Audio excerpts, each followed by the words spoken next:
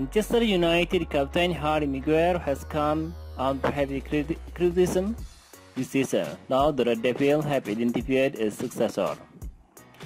Manchester United deferred to have lost season with long-suffering captain Harry Maguire.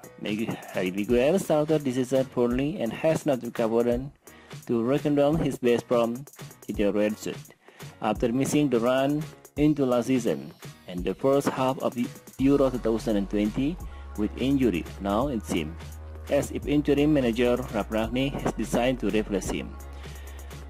The 62 years old stepped into a consultant role this summer following the end of his temporary time in the dugout. And with over a half year the season of managing the Red Devil dysfunctional side, he has identified a number of positions that need improving at Old Trafford.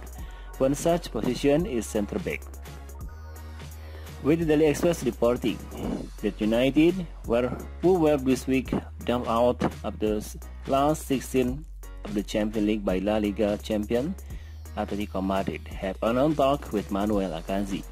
Swiss defender Manuel Akanji has been a solid person at the back for Borussia Dortmund for a number of years, having joined from Basel four years ago.